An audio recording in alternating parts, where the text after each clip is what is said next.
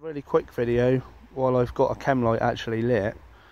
If you found yourself in a rescue or survival scenario and you can hear rescue helicopters or search boats and you've actually got a chem light, if you crack it and tie a piece of shoelace, um, the cord from your rucksack, piece of paracord, whatever you've got string wise to the end of it, you can make it a really useful way of letting someone know where you are because it gives off a very distinctive signal which could be seen from the coast or from the air um, when you swing it round. Especially, you could put two chem lights uh, and and double it up.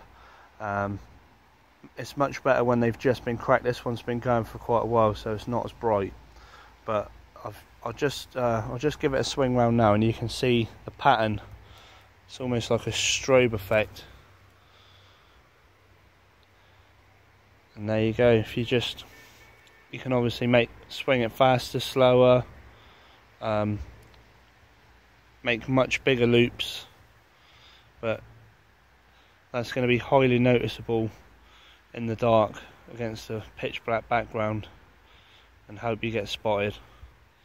So, just a very quick video, but pretty good one. Um, you could also you could also tie it to the end of a stick if you're on the coast um, wanting to signal a boat.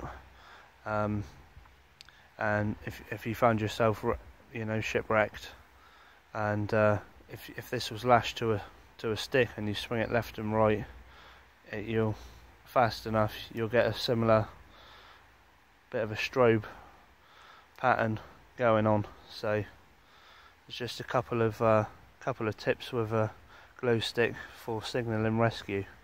So there you go. Hope you find the video useful. Thanks very much.